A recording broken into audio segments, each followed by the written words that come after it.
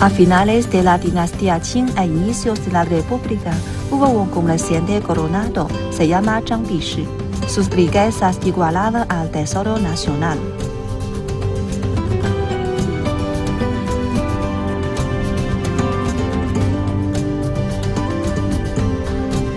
En aquel tiempo, todos los jacas que abandonaban su tierra natal tenían el deseo de construir una casa en su tierra natal. Hoy día, la enorme casa Guanglu no refleja lo más mínimo el estilo excesivamente trabajado y florido. Zhang Bishi no solo dejó la centenaria Zhang Yu, sino que también capacitó a dos paisanos que hicieron grandes contribuciones. Esto muestra su confianza por sus paisanos y su miramiento por preparar a sus descendientes. Para más detalles, quédense con nosotros en Así China. Muchos saben que a finales de la dinastía Qing e inicios de la República hubo un comerciante coronado, Hu Shuiyan, pero casi nadie sabe que en la misma época hubo otro célebre magnate comercial en el sudeste asiático de más alto rango que él. Todos sabían que las riquezas de Hu Shuiyan igualaban al tesoro nacional, pero no saben que su patrimonio no podía compararse con el de Yang Pixu, conocido como el comerciante chino número uno. Cada fiesta de la claridad pura los jacas ofrecen sacrificios a sus antepasados. Al igual que en los años anteriores, los descendientes de Chang Pixi han preparado todo lo necesario para la ceremonia.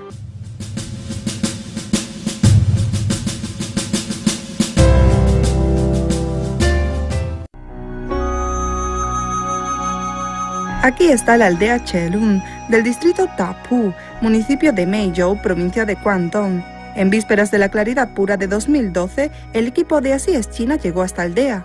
Un enorme conjunto de construcciones se encuentran al lado del arrozal de la aldea, el cual se conoce con el título oficial Guanglu de Changpishi. Dicho grupo de edificaciones tienen la típica estructura de las casas circulares de los Hakkas. 先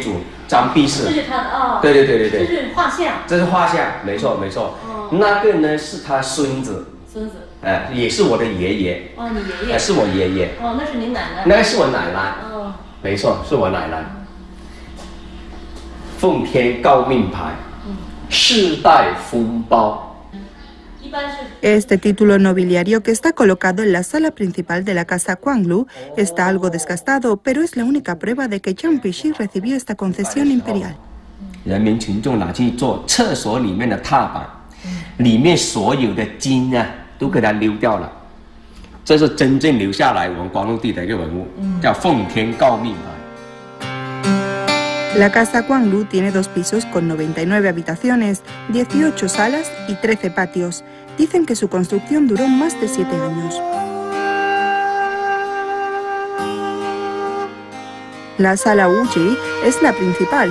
según sus descendientes, el significado de Wuji, los cinco conocimientos constituyen los principios básicos de su filosofía y para sus descendientes, respecto a su comportamiento, la benevolencia, la justicia, la cortesía, la sabiduría y la fidelidad son los cinco aspectos fundamentales de la escuela confuciana. Nunca lo olvidó.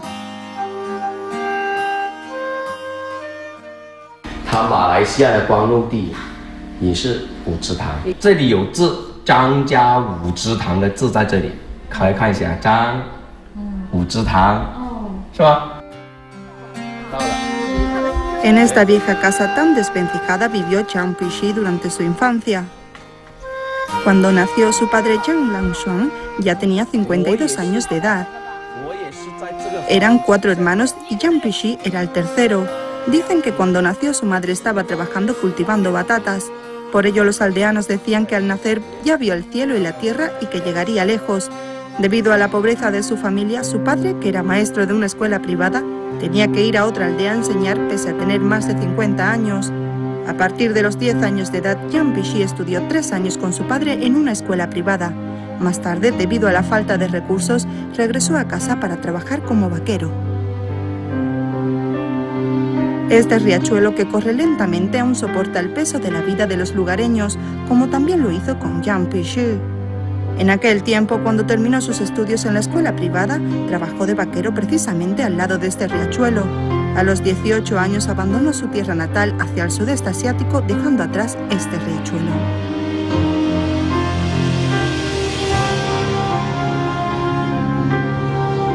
Contemplando desde aquí la enorme casa Lu se ve justamente su parte trasera. Los dos conjuntos de escaleras de piedra eran en aquel tiempo muelles para barcos. Dicen que se habían construido tres, pero solo se han conservado estos dos. Para levantar la casa Lu, Zhang Pixi empleó primero tres años en la construcción de muelles. Esto era irrealizable para una persona común. En 1905 empezó la construcción de la casa Lu. Los muelles aún hoy parecen sólidos. Para Zhang Pixi, el más rico de la localidad, fue fácil construir una casa en su tierra natal. Pero ¿por qué seleccionó este terreno junto al río?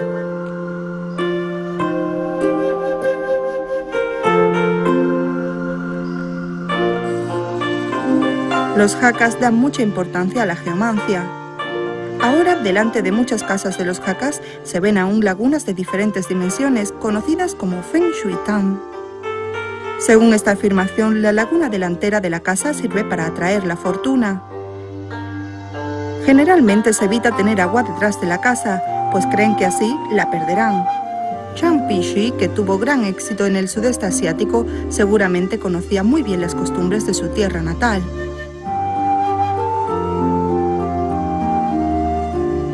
Pero ¿por qué seleccionó una ubicación con una montaña delante y agua detrás? ¿Acaso le era indiferente todo esto al haber amasado una gran fortuna? Zhang Xiangming, su tataranieto de quinta generación, nos da una explicación inesperada.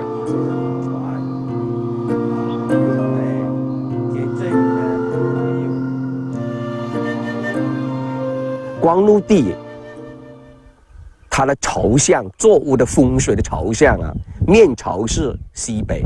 背靠东南方，外大门对的前面是笔架山啊。对笔架山的意思，就是说，他的子孙后代啊，个个都能成为文人，饱学诗书。Zhang Pixi construyó su casa Guanglu según la geomancia local. Creía que la montaña Pijia podría traer mejor porvenir a sus descendientes. Debido a la pobreza de su familia, Zhang Pixi solo estudió tres años en una escuela privada. Aunque obtuvo más tarde gran éxito, sus duros comienzos le hicieron darse cuenta de la importancia de tener una educación. Por ello se esforzó dentro de lo posible por crear condiciones para que sus descendientes pudieran estudiar.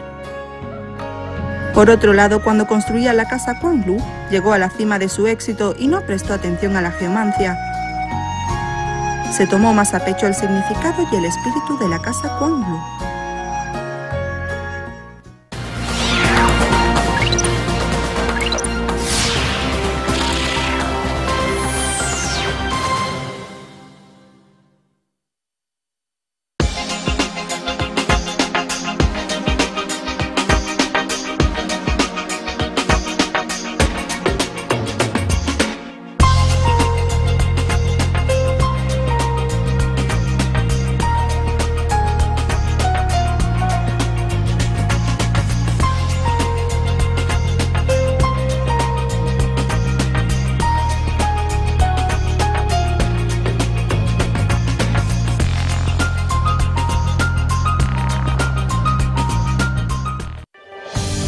A finales de la dinastía Qing e inicios de la República hubo un comerciante coronado, se llama Zhang Bishi.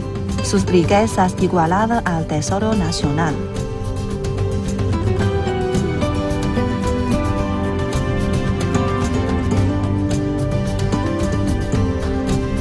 En aquel tiempo, todos los jacas que abandonaban su tierra natal tenían el deseo de construir una casa en su tierra natal.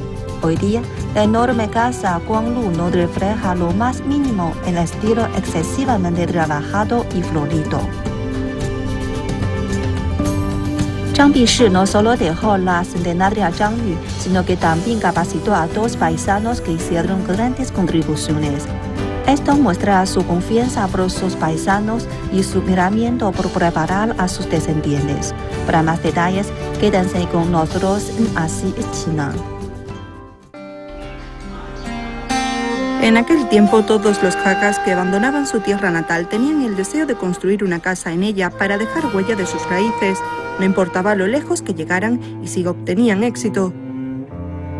Hoy día la enorme construcción de la casa Lu no refleja lo más mínimo su estilo excesivamente trabajado y florido. Ahora parece simple, natural y sencillo. Liu Jinghong, periodista del diario The Meizhou, ha recopilado mucho material sobre Zhang Pixi. Respecto a la casa Quanlu tiene su propia interpretación. 这个房子呢，你大家看看就知道，建得非常的大气。大气当中呢，它又对这些细部的东西啊，它没有说过过过于在乎这个精雕细琢，所以呢，它建的大气呢，这个体现了张弼是这个我们客家的侨商啊，呃，他的一种落叶归根的一种想法。Chang Xiangming empezó a vivir en la casa Guanglu a los 18 años. No se sabe si se debe a la geomancia, pero llegó a ser el más erudito entre los descendientes de Chang Puishu. Ahora enseña en la capital del distrito y sus dos hijos tienen buenas calificaciones. En estos días, Chang Xiangming está muy ocupado. Está trabajando en la reedición del libro Zhang Pixi, el hijo favorito de He. Dicho libro entrará pronto en las aulas de los alumnos de primaria del pueblo Xi He, distrito de Tapu.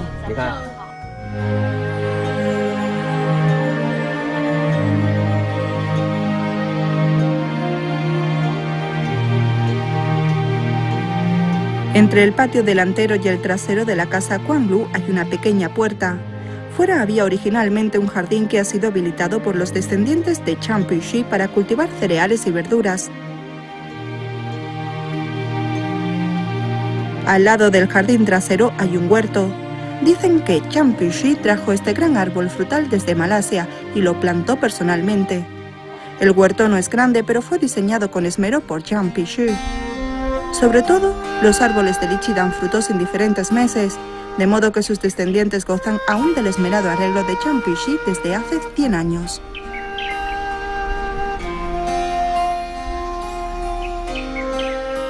广路地做好以后就种下去了，现在已经一百多一点年了，一百多年了。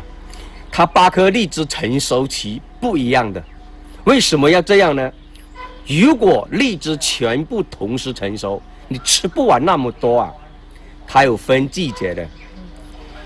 这一颗吃完以后，第二颗成熟了，第二颗成熟了，吃完以后第三颗又好了，它这样大概头尾有三个月的时间坚持这里吃荔枝。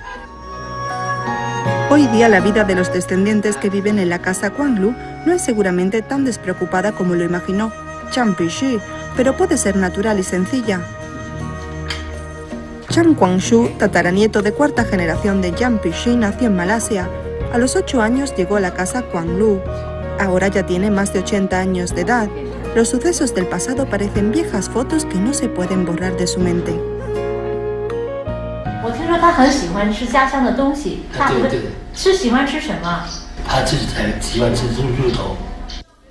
Según Chang Guangshu, Chang Pixi regresó solo en dos ocasiones después de construir la casa Guanglu y cada vez se marchó precipitadamente. Pero por más apresurado que estuviera, Pixi no olvidaba probar algún producto típico de su tierra natal.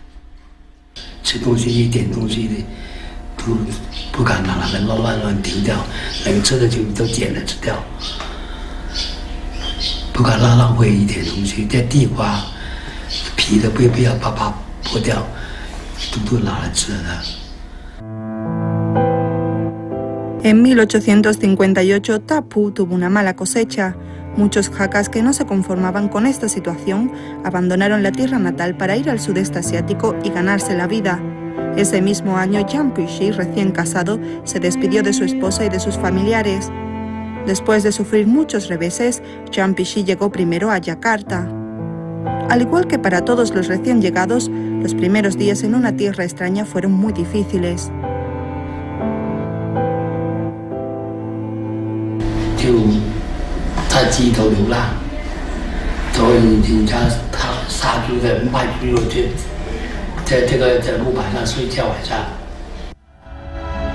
Al principio, Jiang Pixi transportaba agua. Finalmente obtuvo un puesto de dependiente y en poco tiempo se granjeó la confianza del patrón. Al ver que era honrado, el patrón lo casó con su hija. Tras la muerte del patrón, Chang Pishi empezó su brillante causa en el sudeste asiático sobre el negocio de su suegro.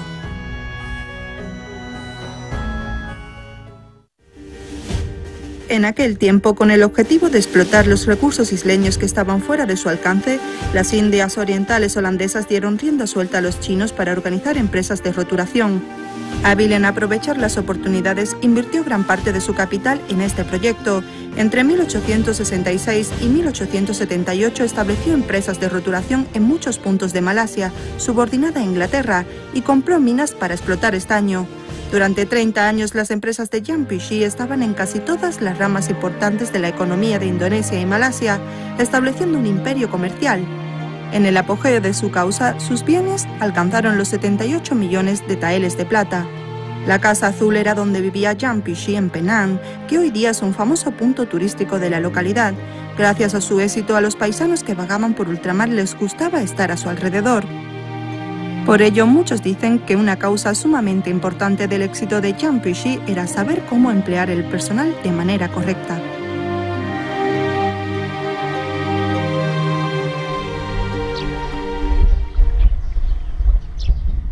Al lado de la aldea Chelun, donde está la casa Kuanglu, hay una aldea llamada Peitan, donde grabamos una casa.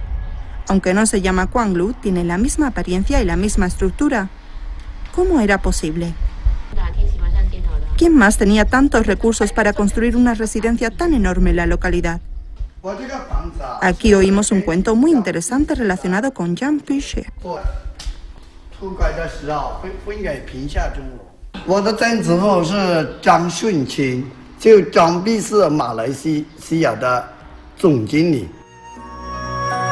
Resulta que el dueño de esta casa fue Chang Shunqin, gerente general de Jiang Pishi en Malasia. Gracias a su sobresaliente talento se ganó la estima de Chang Pishi. Más tarde este le propuso a Chang Shunqin que regresara a su tierra natal para construir una casa.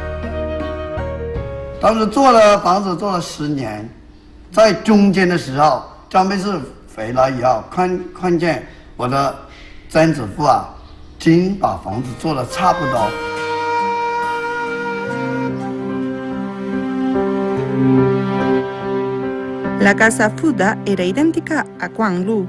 Tenía dos habitaciones más que las 99 de esta última. Había además una hermosa laguna geomántica. Semejante magnitud y majestuosidad no las podía alcanzar una familia media. ¿Cómo pudo lograrlo Jiang Shunqin? Chang Pingxi pensó en algo.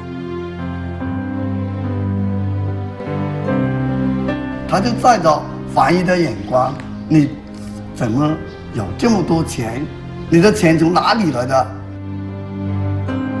Por este asunto, Jan Pichy pensó que posiblemente hubo fallos en la administración. Entonces tomó una decisión imprevista.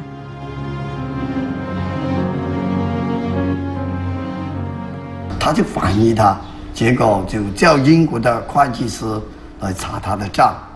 查账也要也没有发生什么问题，结结果就把他的总经理啊就撤掉了。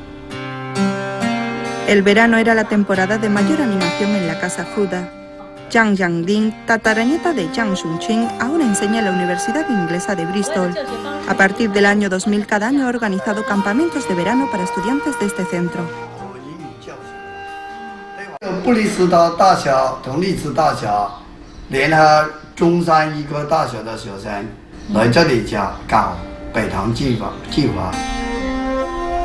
El proyecto de los campamentos de verano de Peitan, elaborado por Zhang Yanglin, ofrece a los participantes de ambos países la oportunidad de conocer la cultura de la otra parte.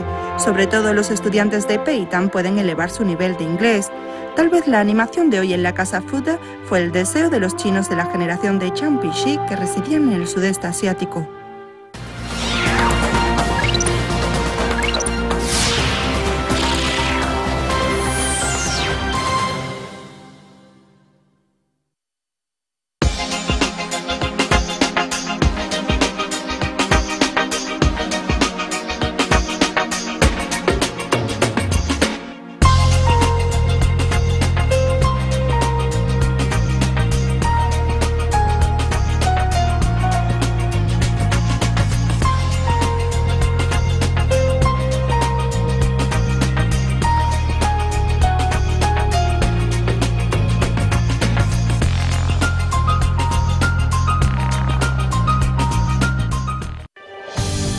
Finales de la dinastía Qing e inicios de la República hubo un comerciante coronado, se llama Zhang Bishi.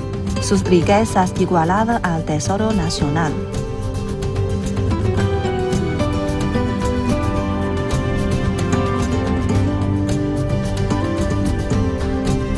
En aquel tiempo, todos los jacas que abandonaban su tierra natal tenían el deseo de construir una casa en su tierra natal. Hoy día, la enorme casa Guanglu no refleja lo más mínimo el estilo excesivamente trabajado y florido.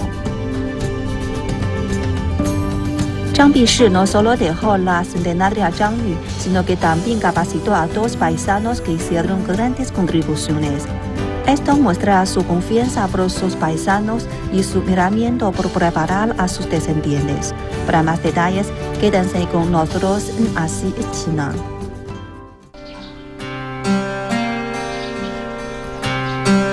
En la aldea Chelun hay otra casa conocida por todos como Zichong, cuyo dueño es Chang Chengqing, el primer gerente general de la empresa Changyu nombrado por Chang Bishi.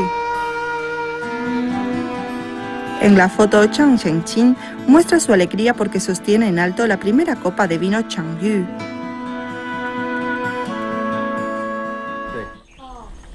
El propietario del templo ancestral Shounan es Chang Zichan, quien también salió de su tierra natal junto a Chang Bishi.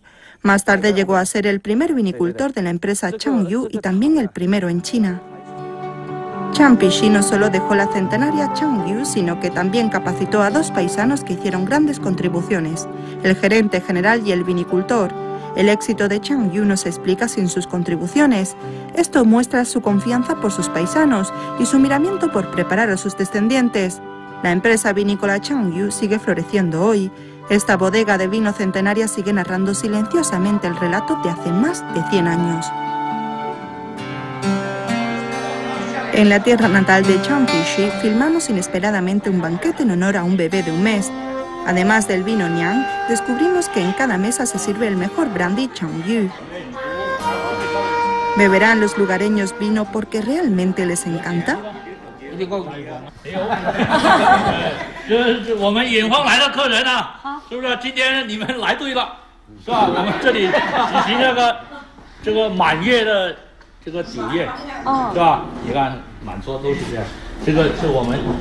本县本乡本土的金奖白兰地，这个驰名中外呀！你说三星级的，是不是啊？张玉是吧？张玉，你眼光来了客人，我敬你，好，嗯，喝，可以了，最好是干杯。你们这搞庆典都是喝张玉吗？是是是，大部分大部分大部分用张玉哈。Desde hace tiempo, los paisanos de Champisí celebran los grandes acontecimientos con el mejor brandy Champi. Esto muestra justamente la nostalgia y la gran estima que abrigan por Changpishi.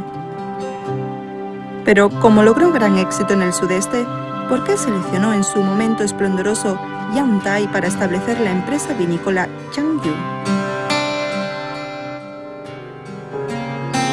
En 1891, cuando se encontraba en el sudeste, Champishi recibió un telegrama de Shen Xuanhuai, supervisor de la bahía del mar oriental de Shandong, invitándole a Yantai a discutir sobre la explotación de minas y la construcción de ferrocarriles.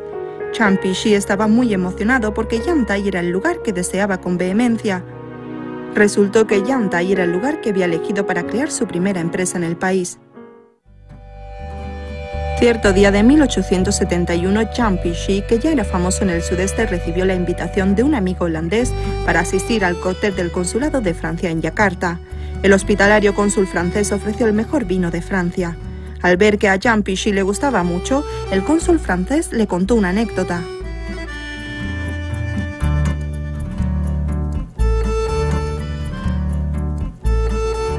Durante el reinado de Xianfen de la dinastía Qing, el cónsul llegó a Yantai junto a las tropas aliadas anglo-francesas. Descubrió que allí en las montañas había grandes extensiones de vid silvestre. Los soldados elaboraron vino con el instrumental que llevaban consigo. El sabor le dejó una impresión muy profunda. Tal vez lo dijo sin intención, pero Yang Pishi tomó nota. Entonces una idea arraigó profundamente en su corazón.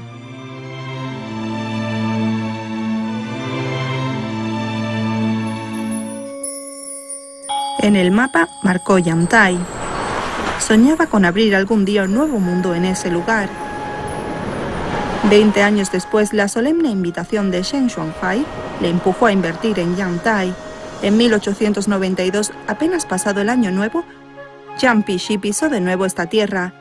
En 1895, Li Hongchan ratificó la patente de negocio y Wen Tonghe, maestro del emperador Guangxu, escribió el nombre de la fábrica.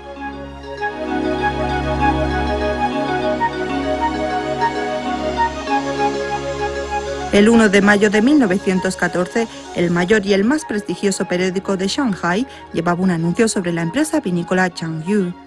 En 1915, cuatro tipos de brandy Keia de la empresa vinícola Changyu ganaron el primer premio en Panamá. En otoño de 1916, cuando Chiang Pixi atendía invitados chinos y extranjeros en la sala Uji de Indonesia, sufrió una angina de pecho y falleció en el Hospital Real de Holanda a los 75 años de edad.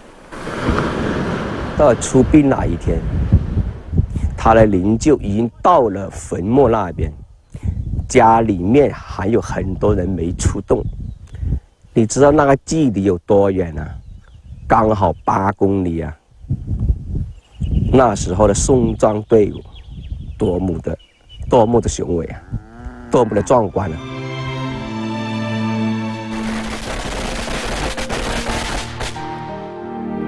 En vísperas de la claridad pura, los descendientes de Chiang Pixi colocan brandy ante su tumba. Chang Xianming dice que como la mayoría de los descendientes de Chiang Pixi vive en el extranjero, pocos acuden anualmente a rendir homenaje ante su tumba. Desea que los que residen en ultramar puedan regresar a menudo para visitar su tierra natal. Si la construcción de la casa Guanglu muestra el apego de Chiang Pixi a su tierra natal, la inversión en el interior del país representa un impulso más elevado y con más perspectiva hacia su causa.